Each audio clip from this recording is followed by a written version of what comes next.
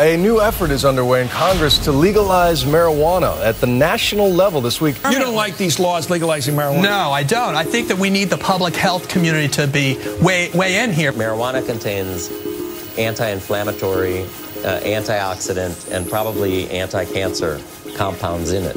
There was a study meant to prove that marijuana causes lung cancer and found that there's actually a 37% reduction in lung cancer in chronic long-term marijuana smokers over non-smokers.